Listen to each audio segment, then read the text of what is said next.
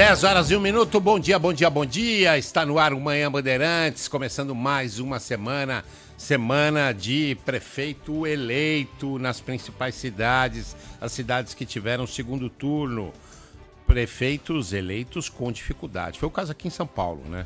Não foi uma eleição fácil, apesar da distância, da diferença aí no final ter sido maior do que definiam ou que mostravam as pesquisas uma diferença que mostra que as pesquisas erraram, erraram um pouco, acertaram o vencedor, mas erraram o resultado numérico. Bom, Ricardo Nunes ganha pelos seus méritos, sem dúvida nenhuma, ganha pelo pacote de obras que lançou, ganha por uma série de iniciativas, mas ganha também, a gente não pode negar, pela rejeição que tinha o candidato Guilherme Boulos. Aliás, Bolos repetiu exatamente a sua votação de 2020, quando disputou a Prefeitura de São Paulo com Bruno Covas. Ficou ali no percentual de 40%, que mostra que a esquerda hoje em São Paulo pode ter um teto. Foi uma derrota da esquerda, sem dúvida nenhuma, uma derrota da esquerda em vários pontos do Brasil, em várias cidades brasileiras, uma derrota do governo federal, uma derrota do presidente Lula. A polarização, que era um desejo eh, de Guilherme Boulos aqui em São Paulo, a nacionalização da disputa, que era um desejo aqui de São Paulo, acabou não acontecendo.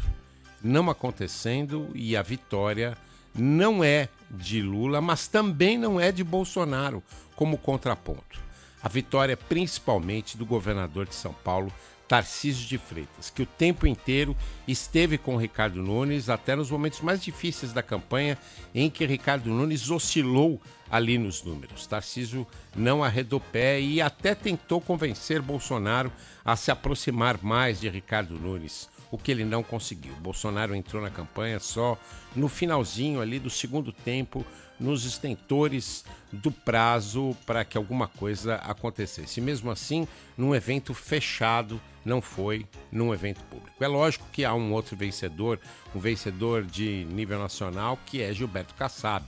Gilberto Kassab sempre vence quando se trata de política e o partido dele, o partido que ele preside, o PSD, fez cerca de 700 prefeitos, pouco mais de 700 prefeitos, o que é um número que leva o PSD a ser hoje um dos maiores partidos do Brasil. Mas a vitória, sem dúvida nenhuma, é de Tarcísio e não é de Bolsonaro. PL do presidente Bolsonaro, por exemplo, fez de nove prefeitos que estavam no segundo turno, apenas dois. Apenas dois dos nove prefeitos que concorriam em segundo turno do PL foram eleitos. Inclusive, um prefeito que Jair Bolsonaro se envolveu pessoalmente na campanha. Lá em Goiânia, disputaram Sandro Mabel e Fred Rodrigues.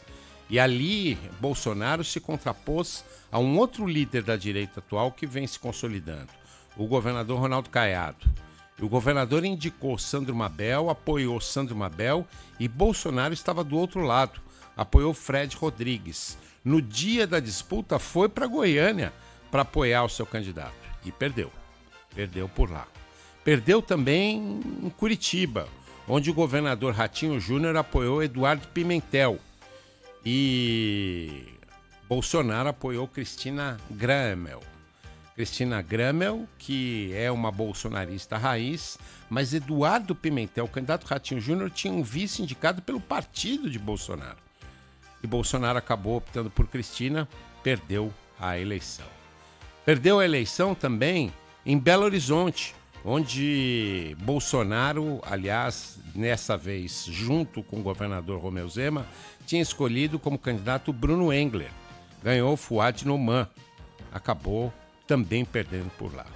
Enfim, Bolsonaro vai ter pouca importância na divulgação dos nomes que formarão o secretariado aqui de Ricardo Nunes. Haverá alguma pressão, mas o grande definidor do secretariado vai ser mesmo o governador Tarcísio de Freitas. E, aliás, um secretariado que será agora legítimo e realmente de acordo com a vontade do prefeito Ricardo Nunes. Enquanto o primeiro secretariado trazia muito uh, das propostas e das ideias de Bruno Covas. Agora não. Agora Ricardo Nunes é prefeito eleito e ele definirá com certeza o secretariado de acordo com a sua vontade. Daqui a pouquinho, aqui no Grupo Bandeirantes de Comunicação, na Band News TV e aqui na Rádio Bandeirantes, nós vamos entrevistar o prefeito eleito de São Paulo, Ricardo Nunes. Então aguarde aí, fique com a, fique com a gente, fique conosco, porque nós vamos conversar com o prefeito eleito, Ricardo Nunes.